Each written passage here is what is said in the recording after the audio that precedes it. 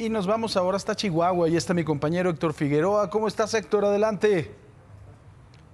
¿Qué tal Paco, amigos de imagen? Efectivamente, Chihuahua va a tener a su primera mujer gobernadora, Maru Campos, y también será la primera gobernadora emanada de las filas del Partido Acción Nacional, la primera mujer panista en gobernar una entidad. Y es que de acuerdo ya con los resultados electorales preliminares que llevan más del 70% aquí en Chihuahua, Maru Campos alcanzaría el 44% de los votos, mientras que Juan Carlos Loera de Morena llegaría a poco más del 30%.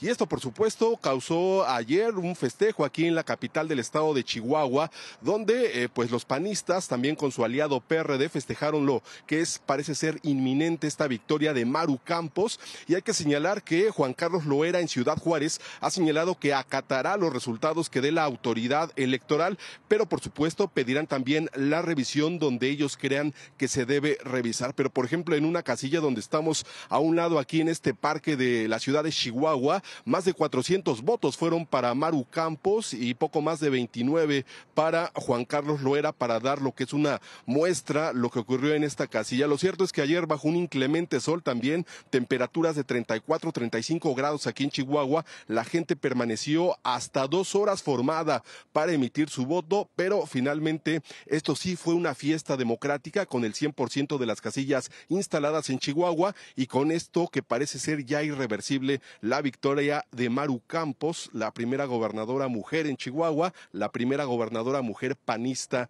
en toda la República Mexicana. El reporte, Paco. El que te aprecio mucho, gracias, mi querido Héctor. Buenos días. Buenos días.